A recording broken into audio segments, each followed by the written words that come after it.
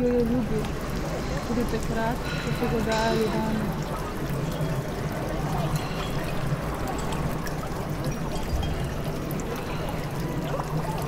Magdalena. Na drugi strani dotikajo smrt. Tako nežno, ki z njo živijo je čolovitu.